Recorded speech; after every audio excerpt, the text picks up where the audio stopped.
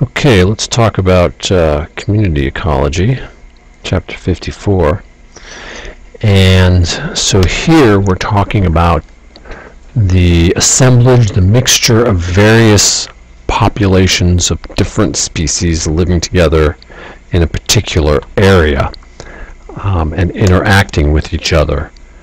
Um, these kinds of interactions we would describe as interspecific between species interactions, and they come in various forms.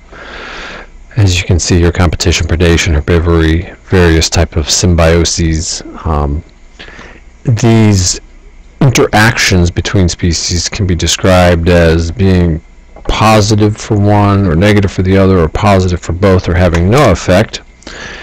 And so, for example, competition between species is where they are both having a negative effect on each other. Um, this is where they're not necessarily eating each other, but they're perhaps competing for a shared resource. So, for example, hyenas and lions um, don't really prey upon each other much, but they compete for the same food sources, and so in that way, they are having a a indirect or a indirect effect on each other. Um, this competition can sometimes lead to what's called competitive exclusion, where one species outcompetes outcompetes the other. Um, this was famously studied by a Russian scientist named Gause using paramecia, and he discovered that they had a very similar, they grew under very similar conditions, and different species, when you grew them in isolation, did just fine, but when you put these two species together, one was a better competitor than the other, and the one died out and he's the one that sort of developed this idea of the competitive exclusion principle. Um, and this is related to the ecological niche, um, which is the uh, total of all of the forces that impact that species, all of the living and non-living things that impact that species. Um, you can think of it as its ecological role. Um, you can think of it as, as kind of the job it has in the environment, where it lives in the environment. The one definition I've heard that I kind of like is it's sometimes described as the multi-dimensional hyperspace. It's that place in the environment where an organism lives and encompasses all the factors that impact that species, the multi-dimensional hyperspace. Um, it's often wondered why ecological communities can be so diverse um, because as Gause showed if you have two species that occupy the same niche one tends to outcompete the other. Uh, well, why are there so many species? And it's thought to be due to what's called resource partitioning. And that is species, not consciously obviously, but in order to minimize competition with other species, they tend to specialize their niche. And so these uh, lizards here, for example, some live lower down on the tree and on fences, and others live higher up in the tree. Um, they have a similar niche, but they subdivide the environment somewhat to, again, avoid competition. And there are some there are several species listed here. You can see that some that live on the ground and again others that are higher up. So the niches, the, the habitat is divided into different niches which allows coexistence between these species and minimizes competition.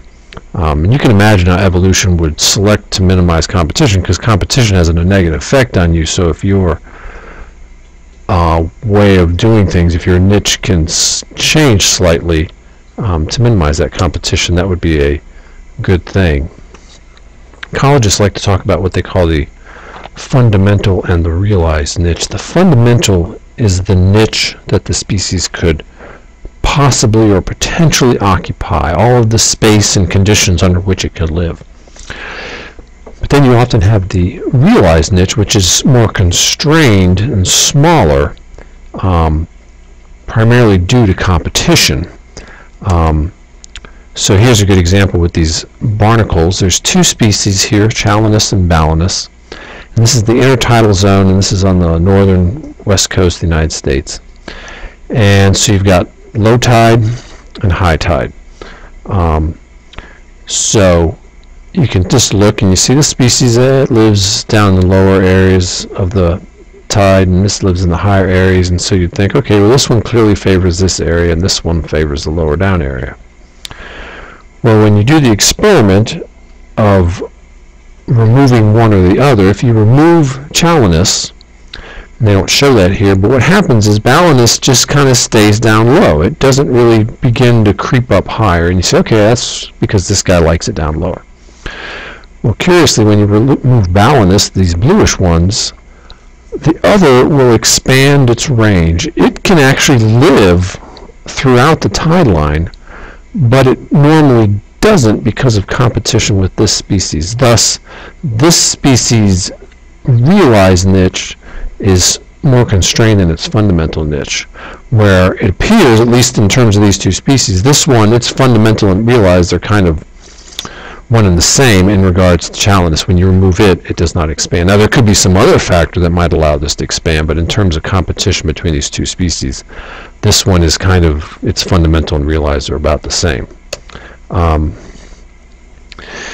this um, competition can uh, and and niche and resource partitioning and niche specialization can lead to what we call character displacement and this in particular happens when you have species really living in close contact with each other and that's what's described as sort of living sympatrically they live together in the same area as opposed to allopatric and these this is when two populations two species don't really live together so, for example, here are two species of, of finches that live in the Galapagos, Darwin's infamous finches. You can see on this one island you only have this one species and its beak size encompasses this range. On Daphne, a different island, you have um, this other species and its beak size encompasses this range. You can see there's a lot of overlap. This one, you know, it's slightly larger sizes, but not much. There's a lot of overlap. Well, on these other islands, these two species live together, and you can see this one, um, the kind of brownish orange one, its beak size shifts down to be lower, and the other one becomes larger. That is, there's character displacement. This character is modified or displaced or shifts when these two species are living together sympatrically to uh, presumably avoid competition, or there's selection for them to become, in one case, smaller sized beak, in one case, larger sized beak to avoid competition. You it say, okay, what the heck difference does beak size make? Well, in these birds, it's very related to what they eat. Um, when you have larger beaks, they tend to eat bigger seeds that need to be cracked open, and smaller beaks eat plants with smaller seeds. And so you can see when they're allopatric, they probably are eating similar things, but on different islands. But when they get together, they begin to specialize, and this one starts to specialize on smaller seeded plants, and this one on larger seeded plants um, to avoid competition. So, predation. One species eating another, one species benefiting, and one species not benefiting because it's being eaten. Um, of course, predators have all sorts of adaptations for catching prey as is listed here, and also being able to run fast like a cheetah or something like that. Um, but of course, prey species are not helpless in this this uh, interaction. They have ways of avoiding predation by hiding or running fast, living in groups, um, having defensive mechanisms like a, think of a porcupine, which has this spine stick out, or a, a, a turtle that has a shell. Um, and so, and there are various ways to avoid predation uh, as well. Cryptic coloration or camouflage comes in handy. You just kind of blend in and you sit there and hope you're not seen. Um, you can also, and this is what's called aposematic coloration, you can really stand out. These, these poison arrow frogs are a good example of this. Um, they're sort of advertising that they're not very tasty and so you don't want to eat me. Um, Mimicry is also a common thing we see out there where you have species that, um, in case of what's called Batesian mimicry, you have a harmless species that mimics a harmful one. And so this is the snake, and this is a moth. And so birds who might like to eat a moth but avoid a snake will see this and think, oh my goodness, that looks like a snake.